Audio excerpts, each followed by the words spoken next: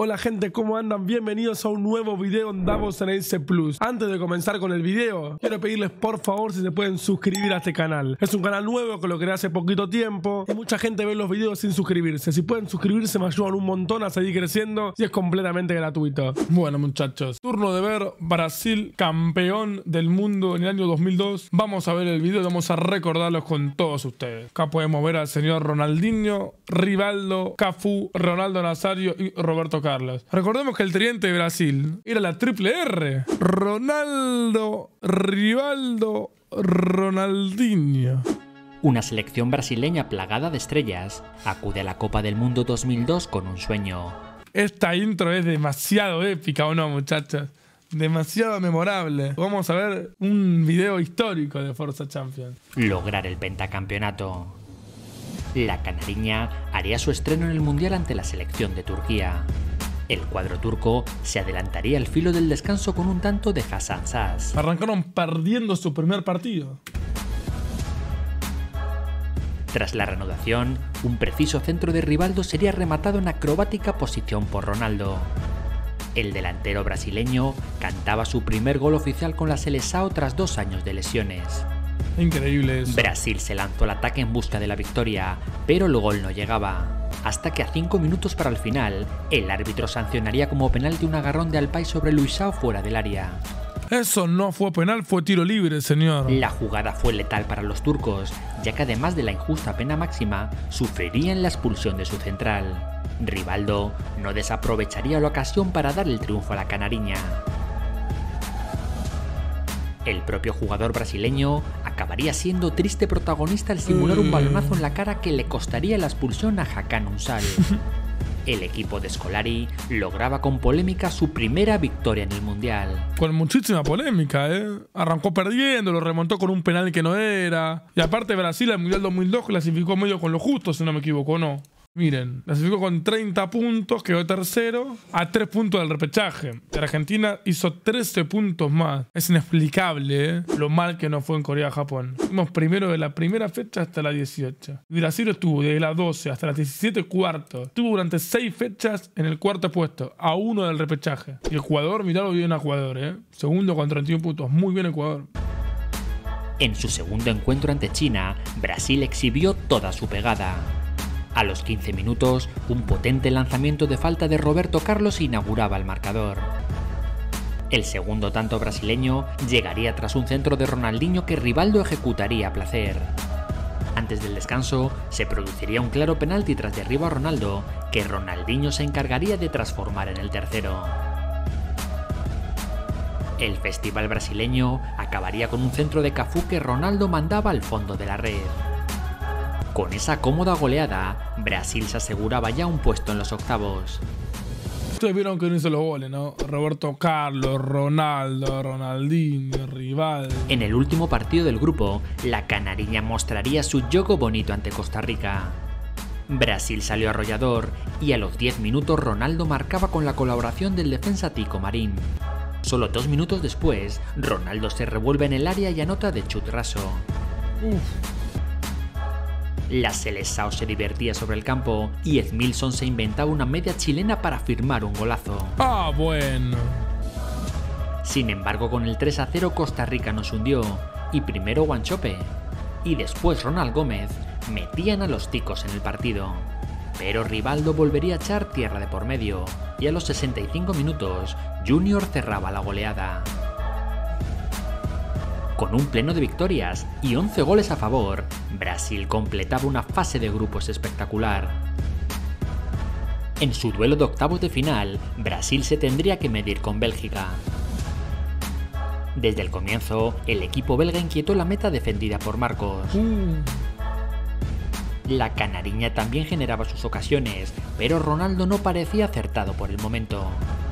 Ronaldo querido. Bélgica metería el miedo a la Seleção con un gol anulado a Wilmots por una dudosa falta sobre Roque Jr.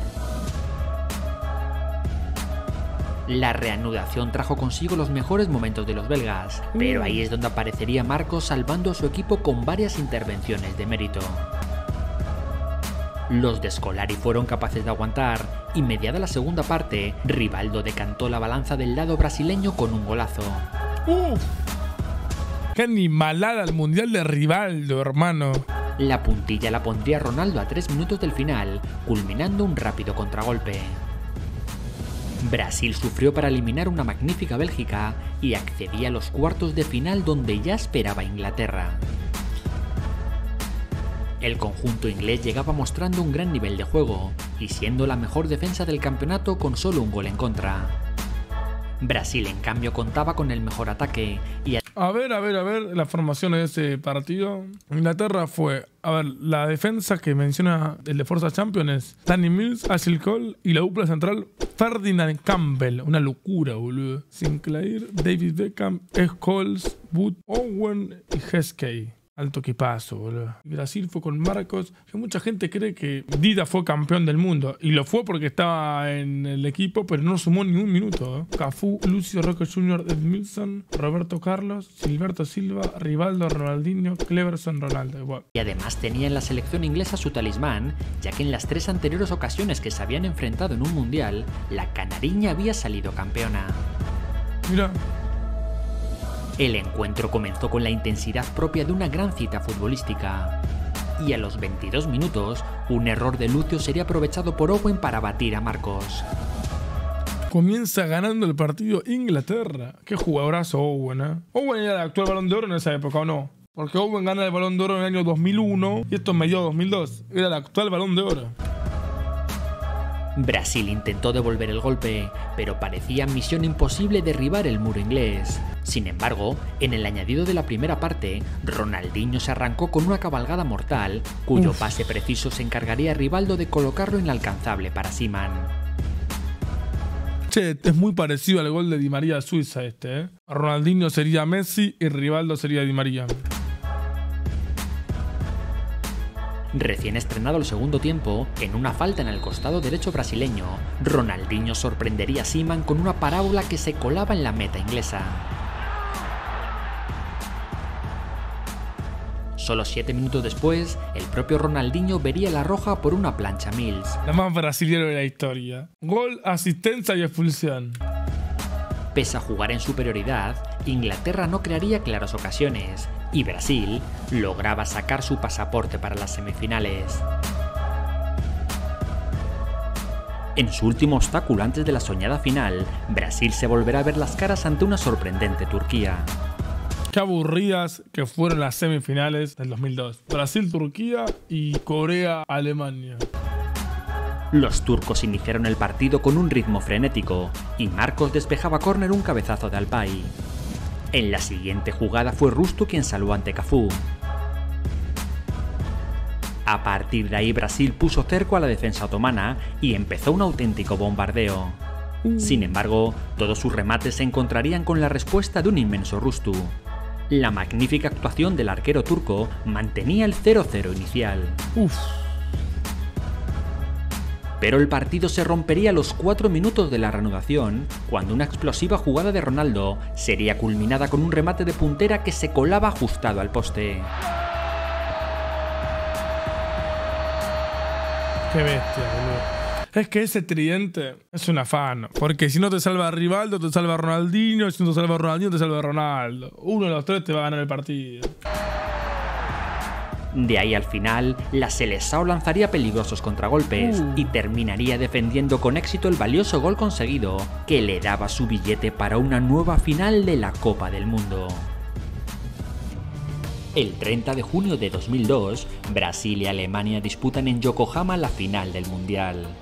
El partido En mis libros, las dos selecciones más grandes de la historia. Brasil para América, Alemania por Europa, pero las dos más grandes contabilizando todas las selecciones. Y ya tercera pongo Argentina. Pero para mí estas dos son las más grandes. presentaba el duelo entre el mejor portero del campeonato, Oliver Kahn, y el mejor delantero, Ronaldo. En esta época el premio al mejor jugador del mundial lo daban antes de la final. Y por eso lo ganó Oliver Kahn. Oliver Kahn era escandalosamente el mejor arquero del mundial. Se mandó un cagadón en la final. Pero bueno, lo dieron antes. Ambos se encontrarían en la primera gran ocasión del encuentro, en donde el remate del atacante brasileño se marcharía fuera. Brasil generaba todo el peligro y un chutazo de Cleverson hizo temblar el travesaño. Al filo del descanso, Kahn le ganaba nuevamente la partida a Ronaldo. Mira el corte de Ronaldo, qué fenómeno. Ya en la segunda mitad, Marcos tocó lo justo un lejano disparo de Neville para mandarlo al poste y en el minuto 66 llegaba la hora de Ronaldo. Después de un robo de balón, o fenómeno cede a Rivaldo, y tras el rechace de Kahn aparecerá veloz para enviar el esférico al fondo de las mallas. ¿Cómo se le escapa a Oliver Kahn esta pelota, boludo? Rivaldo, y tras el rechace de Kahn aparecerá veloz para enviar el esférico al fondo de las mallas.